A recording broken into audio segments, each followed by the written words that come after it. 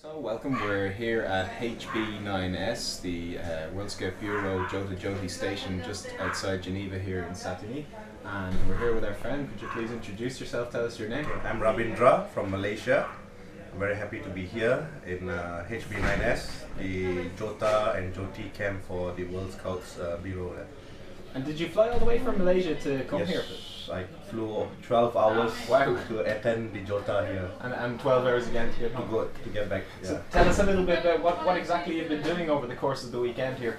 Okay, over the three days, we managed to contact about 500 over uh, operators. I believe it is about uh, 40 over countries that we managed to uh, speak to, and uh, we just exchange uh, messages and uh, greetings for scouts all over the world.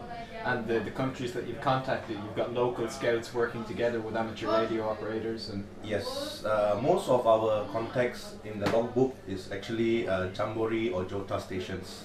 And uh, well, Jota is actually a Boy Scouts event that they invite the amateur radios to assist them and uh, make it a, a bigger event. bigger event. Yeah. Excellent.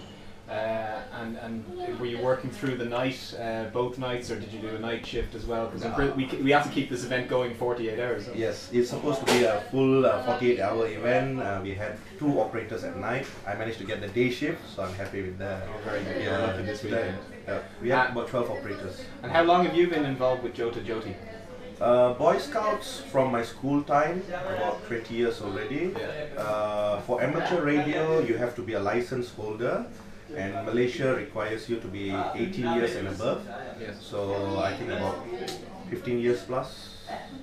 And what, what what do you do normally in scouting in Malaysia? Is it just Jota Joti, or are you involved also at local level? Local levels. Okay. Yeah, up in everything. I'm in, in everything except uh, And is that in the community group? Or? community group. Community group. School and community group is linked. In Malaysia, most of the Boy Scouts are actually, uh, most of the school students are required to have a uniform body, and Boy Scouts is one of the options inside there.